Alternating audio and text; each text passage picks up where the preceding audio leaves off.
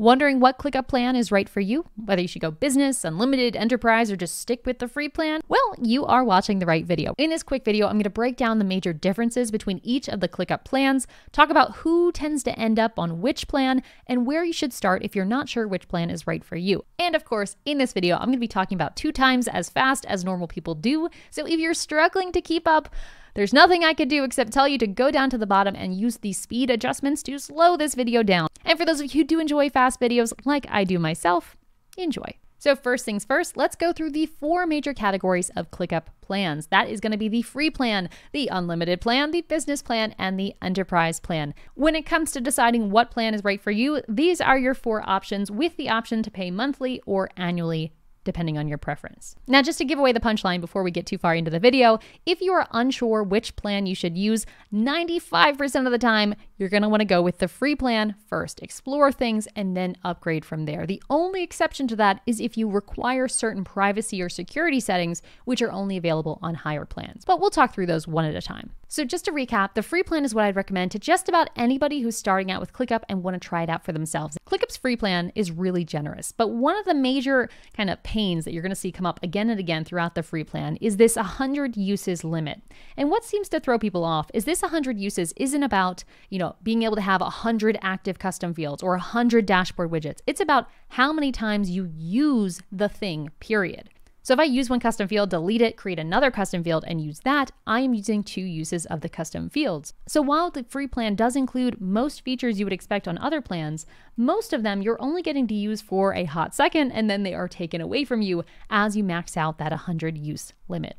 So while the free plan is a great sampler, you're gonna pretty much wanna build your workspace assuming that those limited features are not there because playing with them once or twice is great, but you don't want to build your system around custom fields if you're planning to stay on the free plan for a long time because you're going to use up that 100 use limit much faster than you think. The major downsides to keep in mind about the free plan of ClickUp are the 100 use limit on a lot of key features, including custom fields. The fact that in ClickUp, everyone has full permissions, you don't have the ability to limit things by comment only or view only like you can on paid plans. Third, no future recurring tasks appear on the calendar. So if you have a task repeat on other ClickUp plans, you can actually see those future recurrences on a calendar.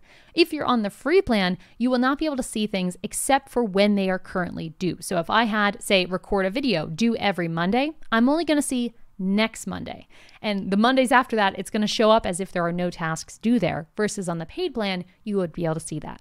The final major drawback of the free plan, I mean, of course, there are lots of little limits, but the final major drawback are the integrations with file storage tools. So things like Dropbox, Google Drive, OneDrive, Box. On the paid plans, you can actually use those tools to attach files without actually storing them in ClickUp. So where there's the attachment option, you can click on it and say, you know, attach Dropbox file, drop attached drive file. Um, that way, you don't have to drag and drop things directly into ClickUp or manually look up a link in a separate browser window. But on the free plan, you do not have that option, which It'll be tempting for a free plan user to store a lot of files directly in ClickUp. But, but if you do that, you run the risk of hitting another limit of the free plan of ClickUp, which is you have limited storage, which if you are, you know, kind of being a little silly with your storage and uploading a lot of files to ClickUp, I definitely recommend linking things in ClickUp, putting a Dropbox link and storing your things in another tool. But if you don't take that advice and you store a lot of things in ClickUp, that is one other th- reason why people sometimes upgrade from the free plan because they max out their storage, which is one of the main differences between the free plan and the unlimited plan that comes next up the hierarchy is storage, which is what the name unlimited is really referring to because a lot of the other things are still limited. So with that, let's talk about the unlimited plan. So on the unlimited plan, there are a few limits I want you to keep in mind. The main one is around custom exporting. So if you're looking to export things out of ClickUp pretty often, it is a limit of five exports, which is pretty low in my opinion. It's pretty surprising to see that here, and one that I want to make sure I draw your attention to. The other major limit of the unlimited plan, which I'm just going to keep making the joke, the limited unlimited plan, um, is that you have limited widgets. So while you can have as many uses of the widgets as you want, you cannot use every widget that's available. And recently, a ClickingUp member asked us what exactly you get on the unlimited plan, like what widgets are included, what aren't. And if you're not aware, ClickingUp is my membership community where I teach people how to use ClickUp to build out stronger processes in their business. Super fun group. But the important thing to note is she asked, and here's the answer these are the widgets that you are able to get on the unlimited plan. You can take a screenshot if you want. And moving on. These free videos are only possible thanks to the Clicking Up members who pay for this content. So thank you for that question, and thank you to all of our members for supporting this content.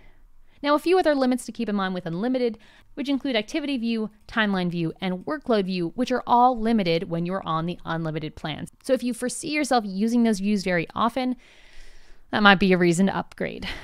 And although you can use sprints on this plan, you do not get access to sprint points and some of the other reporting features around sprints. If you think you might be needing those features, it might be time to upgrade. Overall, the people I see end up on the unlimited plan are typically personal users who want a little bit of extra features that the free plan doesn't include. And for them, it's not important to have sprints or certain dashboard reports. Those are just kind of cherry on top stuff that's not important to those teams and how they're using ClickUp. Next up, we have the business plan, aptly named because if there was one type of user for this plan, it is definitely businesses and teams who are operating a larger organization inside ClickUp. On the business plan, that's truly where you start to reach the point where you do not have limits on just about anything.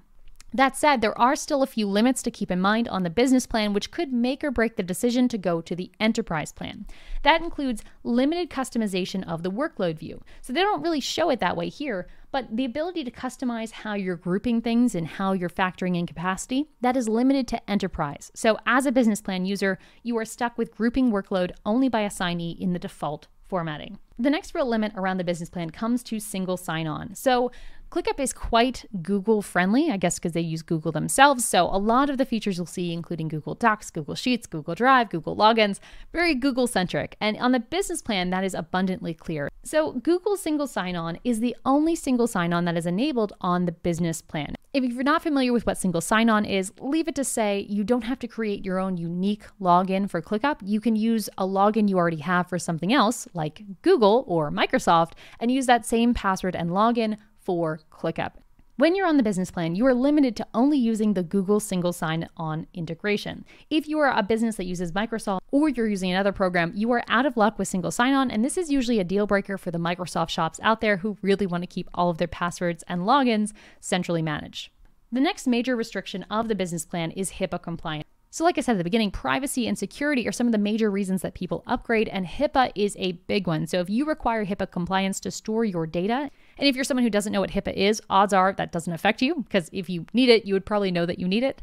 Um, so if you need to have HIPAA compliance in wherever you're storing your sensitive information, you are going to need to upgrade beyond the business plan. The other main reason I've seen folks upgrade or just add on to their ClickUp is the limit of automations.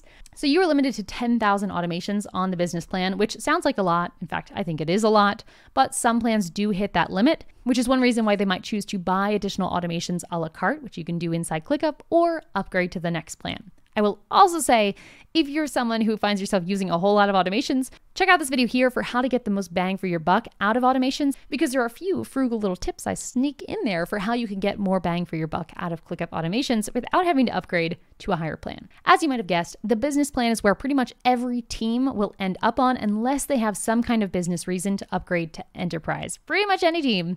If you have a team of more than, say, five, you should probably plan on ending up on the unlimited plan because it's probably going to happen. Oh, quick note though. Some of you might be scared about the price of the unlimited plan or the business plan or all the stuff I'm showing you today, especially once we start talking enterprise.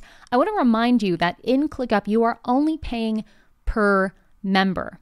So even though you're seeing things like $9 a month, that does not mean every single person in your business is going to be $9 a month because ClickUp's guest access is very generous. You can actually be pretty clever with your access levels in ClickUp to really save a huge amount of money by making sure that you're only giving users the access level that they need. And I actually went into a whole deep dive about this topic on this video up here where I actually showed you a calculator of different ways to save money using ClickUp by distributing guest and member access. So if you're someone who's watching this video and starting to stress out about pricing and you're doing that math in your head thinking everyone needs to be a member, please do watch that video first. You can probably save a lot of money by making sure you have people only at the right level of access. Okay, that was a total tangent. Let's go back to this video and wrap it up with a conversation about the enterprise plan. So, the enterprise plan is like the business plan on steroids. It includes a few standout features that make it really, well, enterprise. The first of which is the ability to white label, which you've probably heard me talk about. It's more like white labeling ClickUp's actual ability to mask its domain.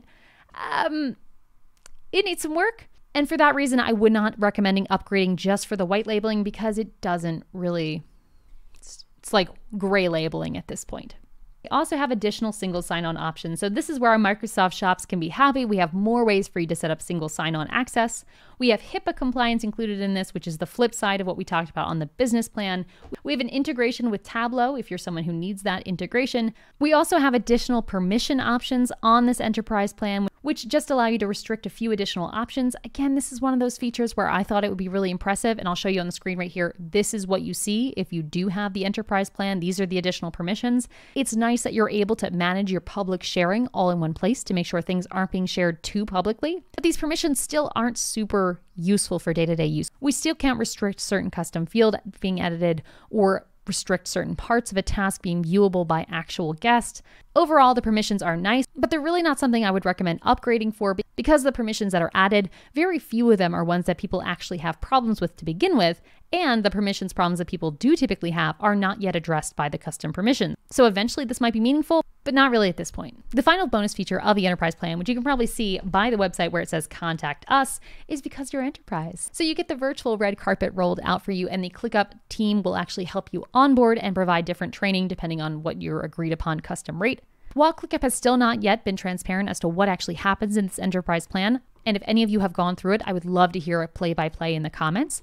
The discussions I've had with people who have gone through the enterprise onboarding describe it as kind of like a basic setup where they plug in a few templates into your account, allow your team to ask some questions, and just give you a point of contact for deciding whether or not you want to upgrade further. So, to recap everything up here, I would recommend you start with the free plan if you're not sure where to go. I went through all the feature differences on each plan, but the best thing you can possibly do is start with the free plan, see when you start to need the features that are limited, and say, ah, okay, I'm ready to upgrade now. It should be very obvious to you what you're going to be getting if you upgrade in each moment. If it's not obvious, you probably don't need those features yet. And if you're a small business like many folks who watch this channel, every dollar counts. So be mindful of when it is time to upgrade. When you do need to upgrade, make sure you're only upgrading the right number of members, which again, we talked about in that other video I linked, but I digress. Thank you guys for joining me for another video. I hope this was a helpful breakdown of the feature differences inside of the ClickUp plans. If you have any questions, feel free to leave them in the comment below explaining what your specific scenario is. Happy to give you some guidance, and otherwise, enjoy the process.